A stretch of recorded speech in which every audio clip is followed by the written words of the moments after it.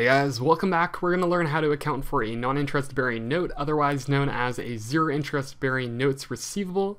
And I'm going to try to cut down on my use of the word actually as it's been excessive in the past few tutorials. So uh, I'm going to definitely try to keep that to a minimum. Let's go ahead and come up with an example. So we're going to issue this note for four months I'm going to draw four tick marks, one, two, three, four, and we're going to say that the amount that we'll recover, or the face value, is $6,000. So we know the duration of the note is four months, and that the interest rate is 10% on an annualized basis.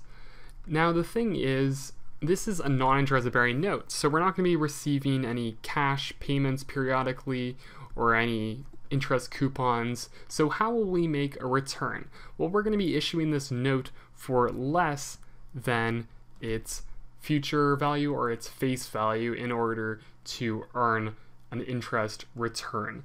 So we're going to take the $6,000 and we're going to discount it using the compound interest equation. So we're going to use the compound interest equation instead of the simple interest because I'm just saying that this is a compound interest note.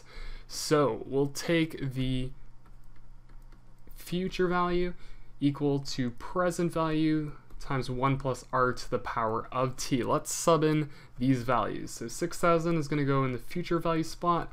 Present value will be unknown since that's what we're looking to solve for. The rate will be 10% and the term will be for 4 months. Now the thing is, what's incorrect with this?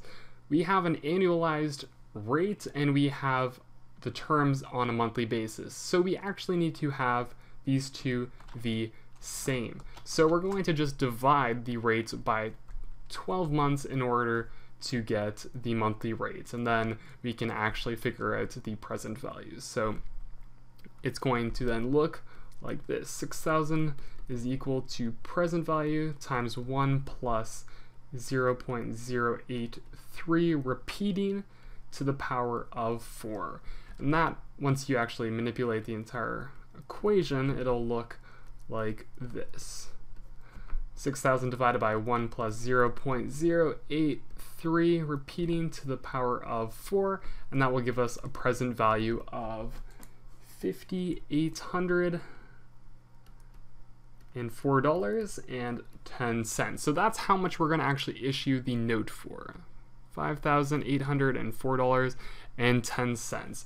So let's get rid of this on the right hand side and I'm going to recognize the notes. So let's take this graphic, move it over to the left hand side and we're going to capitalize the $5,804 to the account note receivable since we're creating an asset since we have an investment. So 5804 and 10 cents. And what are we giving up? Well, we're giving up cash. Therefore, we need to credit cash 5804 and 10 cents.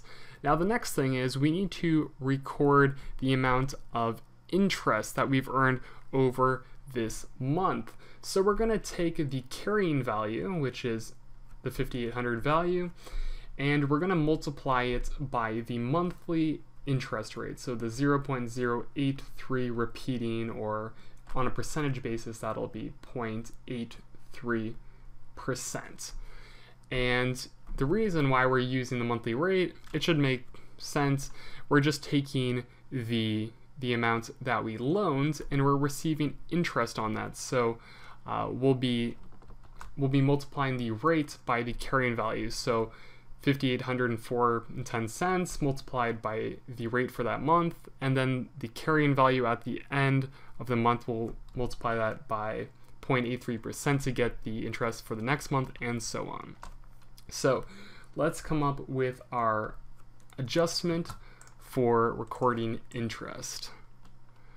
So we're just going to take that 0.83% and we're going to multiply it by the carrying value.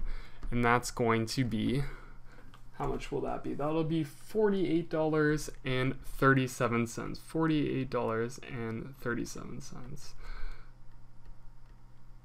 Now we know that the credit is going to be interest revenue. What about the debit? The debit can't be cash because we're not receiving interest in the form of cash. What we're doing is we're receiving interest, but it's being capitalized to the note. So we're just going to debit note receivable, and that's going to increase the carrying value uh, to 58. Carrying value at the end of the first month will be 5852.47. And then for the next month, to find the interest, we'll multiply this by the rate.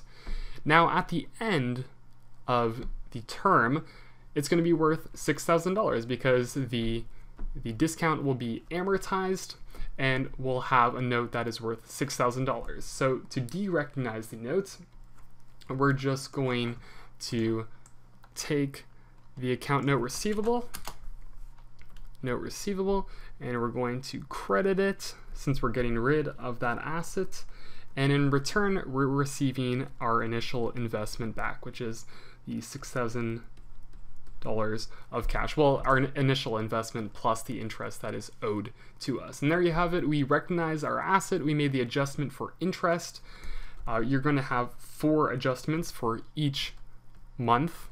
I just did not include those since uh, I explained how to come up with the interest and then you will de-recognize the notes. So everything is in order. I'll see you guys in the next one. We're going to be looking at long-term notes, and it's a little bit different, so I'll see you then.